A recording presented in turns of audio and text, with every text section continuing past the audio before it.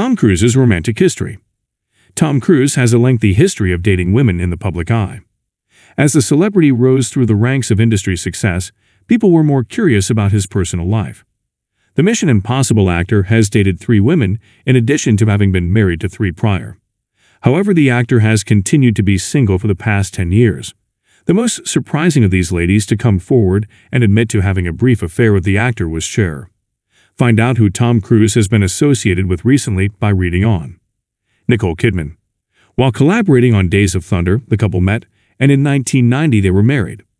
Although Nicole is undoubtedly not Cruise's current fling, the actress is most usually recalled as his wife and the mother of his children.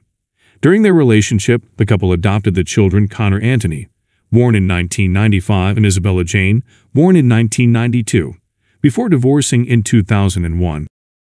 Penelope Cruz. After their breakup, Cruise was linked to Penelope Cruz.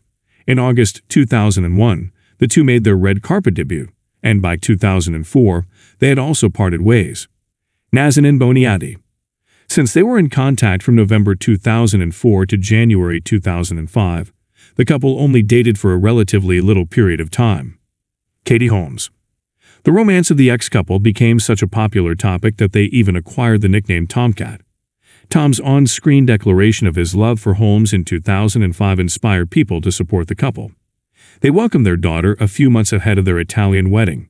In the end, Holmes sought a divorce in 2012. Laura Prepon. In 2014, there were rumors that the Orange is the New Black actress was seeing Cruise, but she promptly denied the rumors in an interview. Hayley Atwell.